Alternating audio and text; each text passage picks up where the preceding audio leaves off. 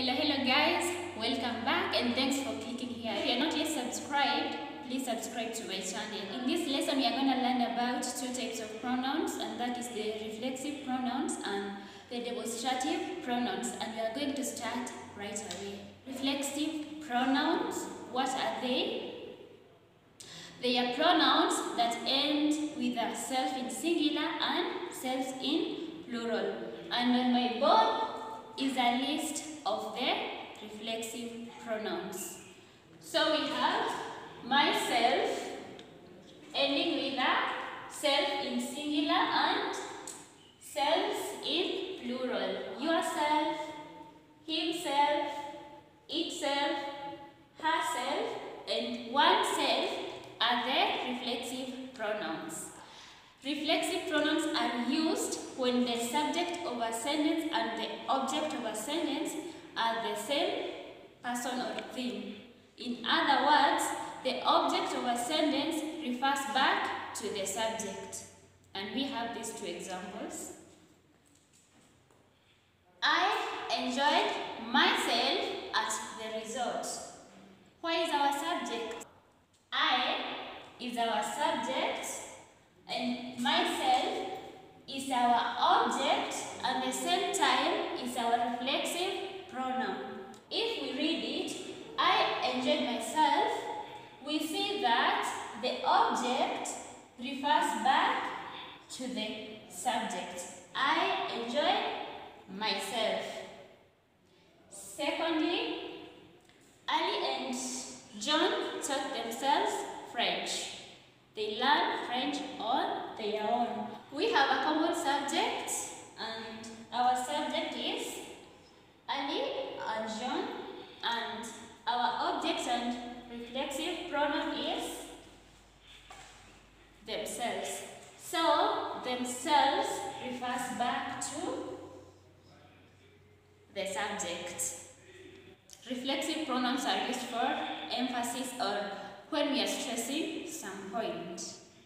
Example, I myself will go see her. This is our reflexive pronoun and the sentence means that I myself am going to see that particular person. I'm not going to send anyone, but I'm going with my own two legs. Yeah. Secondly, I will tell to the principal herself about it. So we have herself, meaning I'm not going to talk to anyone else. I'm only going to talk to the principal about that one specific issue. And these rules apply when we have a mixture of persons in a sentence. And when I say a mixture of person, I mean the first person, the second person, and the third person. Every sentence explains one rule. So, sentence one. Maggie and I taught ourselves how to dance.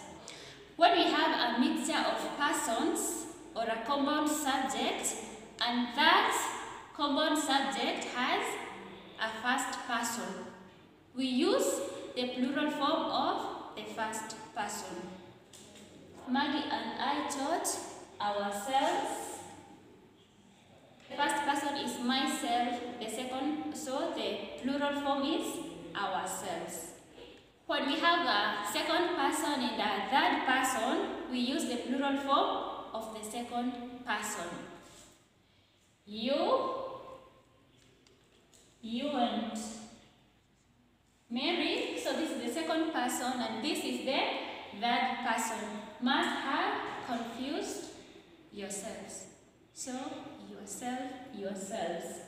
So this is how we get it. And lastly, Ali and John taught themselves how? They taught themselves French, sorry. We have two third persons, we use the plural form of the third person. And that is how we get themselves. Now we are going to move to the second type, and that is the demonstrative pronouns. Demonstratives and demonstratives are words that are used to point at someone or something. In English, we have these demonstratives, this, this and those. We use these when we are talking about things that we are holding or things that are near us. For example, this marker. And if I have more than one thing, this marker in. We also use this when mentioning things that are near for example, this board. Now we move to that. And that is used when we are talking about things that out are out of our reach or things that are not near us. For example, that chair or that boy. Having said that, we can now define demonstrative pronouns. And these are pronouns that are used to point at someone or something. And when we are using demonstrative pronouns, we don't mention the noun because a pronoun replaces the noun. And we have these examples. Can I get you that? Can I get you that? This is our demonstrative pronoun and you, as you can see, we don't have a noun pronoun. She asked me to give you this. This qualifies to be our demonstrative pronoun. Give those to your teacher. Those is our pronoun and you are right. And lastly, I love that.